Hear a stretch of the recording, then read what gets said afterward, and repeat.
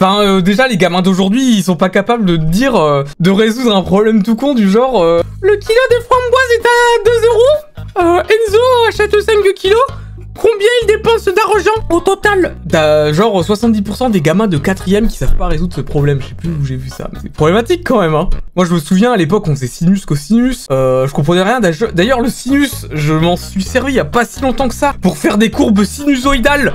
Et franchement, le sang... Hein, c'est réel, mais oui, c'est réel. Ah non, mais par contre, je troll pas hein, sur euh, ce que je viens de dire. C'est comme euh, l'histoire, mais ça, vous, avez dû le voir passer, c'est comme l'histoire des, trois quarts d'heure dans une heure. Je sais plus, il y a combien de gamins en sixième qui sont pas capables de dire dans trois quarts d'heure, il y a combien de quarts d'heure Non mais là c'est plus une question de comprendre des choses. Il y, a, une maladie sous-jacente, c'est pas possible. Euh, attendez, attends. Trois quarts d'heure. Je vais, je la stat. Je vais retrouver la stat. Trois quarts d'heure, problème sixième. Attends, je, je vais, je, lâcher des news comme ça. Seule la moitié des élèves sait répondre à la question. C'est sur le média qui s'appelle l'Indépendant, ça va. Seule la moitié des élèves sait répondre à la question combien y a-t-il de quarts d'heure dans trois quarts d'heure? Le niveau catastrophique des sixièmes en maths. Les élèves de sixième ont un énorme déficit sud-ouest, ouais, c'est un truc qui a été repris euh, vraiment partout. Non mais il y, a un vrai problème, euh, sur les maths quoi. Moi j'étais une bite euh, quand j'étais plus jeune, mais ça se trouve maintenant je serai un génie en fait. Mais là c'est même pas une question de maths, c'est une question de logique en fait. Il n'y a pas de mauvais élèves, il n'y a que de mauvais parents ou enseignants. Alors, mauvais parents oui, enseignants, euh, quand dans ta classe de 20 gamins, t'en as 18 qui répliquent un Battle Royale de Fortnite dans ta salle de cours, compliqué de faire cours si tu veux mon avis. Mais ensuite, ce n'est que mon point de vue.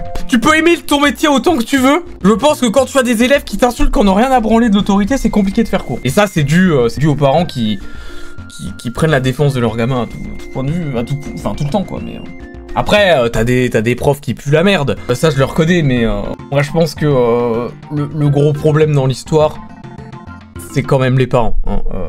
Quand ils disent que, que leur gamin a des troubles, quand leur gamin est HPI instant. le gamin c'est un vrai petit connard et qu'il en a rien à branler de tout.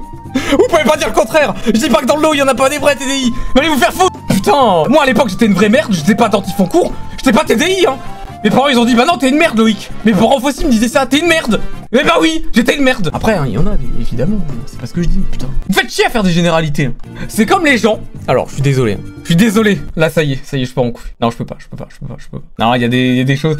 Souvent, on m'envoie des messages en mode euh, message écrit mais bourré de fautes d'orthographe, de fautes d'orthographe, je précise bien. Euh, genre tu confonds euh, ça, SA, c'est dit A, des trucs vraiment très gros. Et à la fin du message, il me dit désolé pour les fautes, je suis dyslexique. Dyslexique, j'arrive même pas à le dire. Mais mec, la dyslexie, ce n'est pas ça. Euh, tu peux être dysorthographique, avoir des problèmes avec les règles. Il y a, y a, des troubles, mais la dyslexie, c'est pas ça. D'après ce que j'ai vu, je l'ai demandé à ChatGPT pour être sûr que je suis pas con. Il m'a dit, demandez-lui si vous me croyez pas. Demandez-lui, est-ce que faire des fautes, genre confond, euh, ne pas savoir conjuguer le verbe être à la première personne du singulier, c'est être dyslexique, ou c'est juste être un gros connard? Bah, Il va te dire, bah excusez-moi monsieur, c'est être un gros connard. Non, je rigole. Il y a vraiment des troubles qui t'empêchent de conjuguer logiquement, mais c'est pas, pas de la dyslexie. C'est pas ça la dyslexie. Faut pas mettre tout à toutes les sauces tout le temps, putain. Oui, voilà, dysorthographique, c'est ça le mot. C'est ça le mot, c'est dysorthographique. Il y a vraiment des troubles de l'orthographe, où euh, le mec, quand il comprend pas euh, certaines règles, il y a vraiment des trucs, mais euh, il y a plein de troubles différents qui existent, mais des fois... Non mais, être nul en orthographe, c'est pas grave. Moi, je suis nul en orthographe. Tu vois, tout à l'heure, je, voulais faire mon tweet, genre, j'ai fait mon tweet, je me plains et ensuite je joue à un jeu. Je savais pas comment écrire, je me plains je savais plus si je mettais un E ou un A. Ah mec, c'est pas grave. C'est quoi le problème?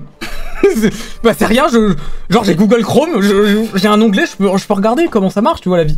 Putain, aujourd'hui on a tellement euh, accès à tout et on en profite pas, ça casse les couilles, putain.